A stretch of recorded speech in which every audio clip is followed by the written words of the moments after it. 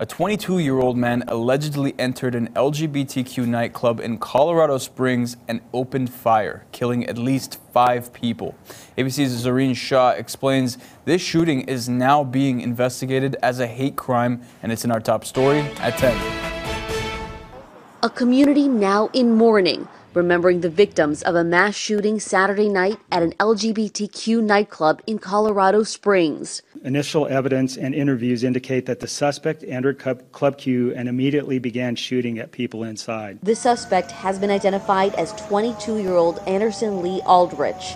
Law enforcement officials briefed on the investigation tell ABC News he is the same person arrested in a June 2021 bomb threat incident. At least two firearms were found at the scene. We are still working to identify the firearms and who they belong to, but I can confirm that the suspect used a long rifle during the shooting. Authorities praising the actions of some patrons. We know one or more patrons heroically intervened to subdue the suspect, and we praise those individuals who did so because their actions clearly saved lives. It was so scary. I heard shots, broken glass, bodies. Joshua Thurman says he was dancing when the shots rang out. It was. How?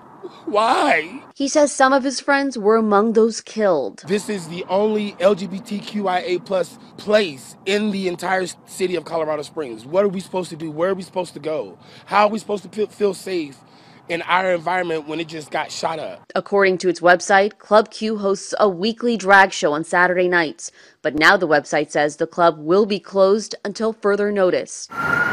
Authorities say the suspect is currently hospitalized. U.S. attorneys say the case is being investigated as a hate crime in addition to the murder charges. Zohreen Shah, ABC News Los Angeles.